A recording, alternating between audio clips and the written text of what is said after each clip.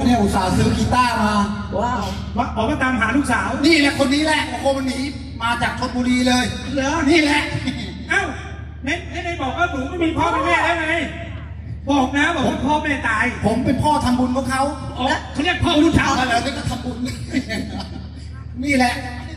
ไอ้เมื่อกี้ขึ้นผิดคิว ไอเดียร้องอยู่คิดว่าเป็นไอ้ปาล์มไม่หงายท้องเลยใช่เกือบแล้วนะคะเกือบแล้ก็ว เป็นแล้วอ่าคนนี้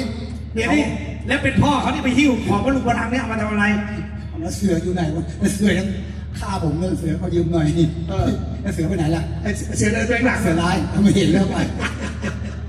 ว่าถ้าฟังเพลงอย่างเดียวมันก็จะไม่ไม่เอออะไรจะเพลินเกินไปจ้ามาแย่ขึ้นบ้างนะมันก็ให้สนุกสนานยิ้มมีรอยยิ้มเออ ผมเป็นคนบ้าๆบอๆอยู่แล้วเฮ้ยจะไปบอกเขาทำไมแล้วให้ให้เขารู้เองสิลุงรู้เปล่าว่าผมเป็นคนบ้าคนบอลุงรู้ไหมครับผมรู้